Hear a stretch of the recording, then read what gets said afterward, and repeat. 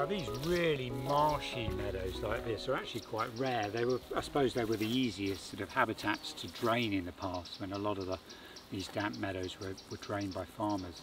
Um, but a few remain, luckily, like this one here, and it's absolutely stunning. It's full of marsh thistles, uh, flowering at the moment. Uh, yellow flag earlier in the year provides a huge, it's yellow with yellow flag in here. And a little bit later as well, it, it keeps going, so it keeps the nectar sources going into the autumn.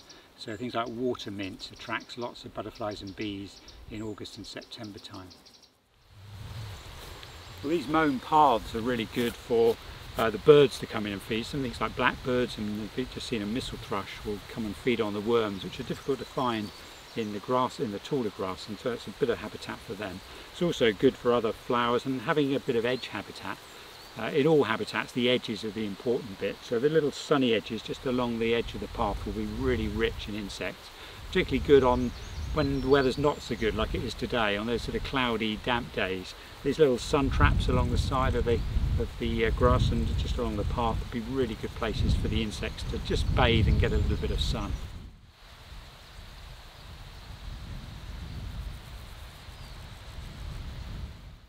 So like the paths, with the edges of the path being good, the edges of the meadow are really good, particularly where they border onto woodlands. And the best way to, to have an edge really is to have not just a, a meadow which goes straight into the trees, but a, a sort of intergrade zone uh, where you get some scrub like this bramble that's just been allowed to grow up here.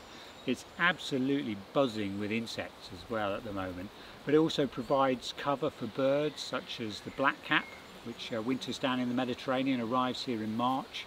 Uh, this bird, the male has a black cap, the female has a brown cap, and they build their nest just in amongst the bramble stems there, uh, raise two or three broods during the, the course of the spring, and then they'll migrate down, or some of them will winter in Britain, but most of them will migrate down to the Mediterranean for the winter. Another early arriving migrant bird is the chiffchaff, uh, if you're learning bird song, it's one of the easiest ones to learn, the chiff chaff, chiff chaff, it just says its name. And that one arrives in March. And that one doesn't, it likes bramble patches and sort of bits of rough bracken, but it nests right down almost on the ground. And it makes a beautiful dome nest like this with uh, little bits of moss and grass all woven together in a tiny little dome. And then the, they will raise a brood of chicks. The pair will raise a brood of chicks in that nest. And they'll feed, and the bramble of course is because it attracts so many insects, it's so good for food for them as well, so they don't have to go too far. The blackcap, it's got a nest in here because they'll still be nesting this time of year, doesn't have to go far to find food for its chicks with all these insects buzzing about. Another bird which we'll use is the song thrush.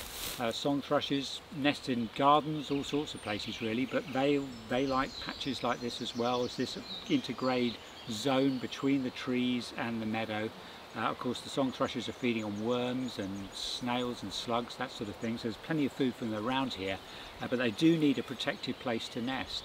And bramble, there's nothing, you know, you don't, trying to walk through a bramble, you don't want to go through there, let alone a fox or a badger would have trouble getting through there as well, and other predators too. So it's a brilliant natural defence system with its spines for these birds which can just sneak in there. They don't go deep into the bramble, they're just often just under the leaves near the surface and they just part the leaves and find the nest there and uh, they do really really well nesting in these situations.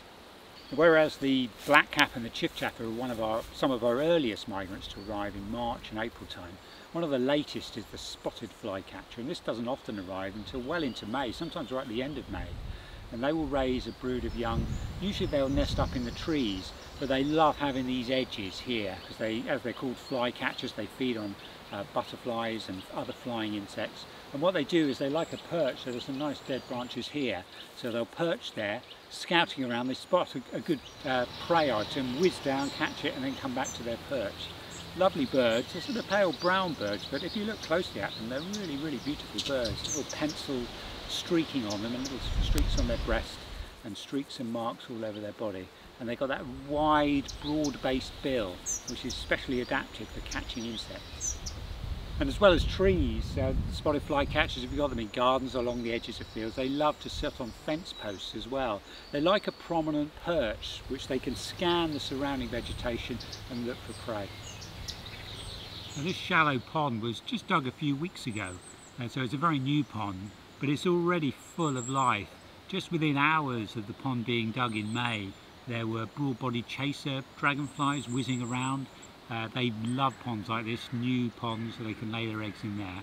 Uh, but if you look closely in the water, you'll see all sorts of creatures already, things like pond skaters, water boatmen, all sorts of things which have colonised this, this habitat.